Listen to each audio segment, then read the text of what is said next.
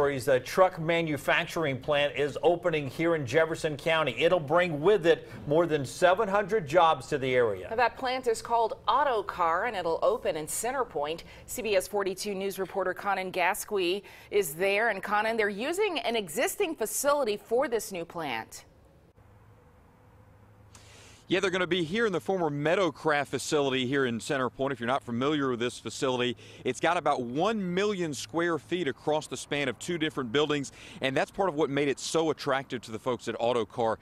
They already produce three different kinds of industrial vehicles, and they say with all this extra space they're going to have, they can actually start to produce even more different kinds of industrial vehicles, so it's a good opportunity for them and for the state of Alabama. To some, this sound is just what you hear from a garbage truck. For many in Alabama, though, it signifies the creation of new jobs. Great news, not only for this area, but also for the people of Alabama. These trucks were on display in downtown Birmingham today. Autocar will manufacture them in Center Point, providing more than 700 jobs at an average salary of more than $58,000. It will also have an impact that will be felt for a long time in Center Point and surrounding areas.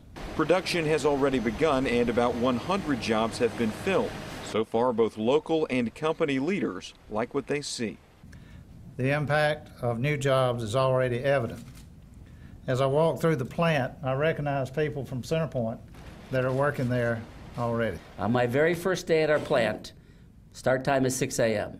I pulled up at 525. There was a line of cars, 15 or 20 long, waiting to get into the gate early to start their first day at work. My friends, that doesn't happen in very many places. The company will continue expanding, and research from the University of Alabama shows it'll have an annual economic impact of $645 million.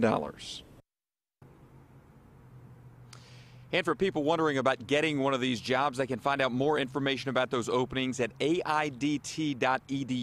That's aidt.edu. We're also going to have more information about that on our website, wiat.com. Live in Center Point, Conan Gasque, CBS 42 News, local coverage you can count on.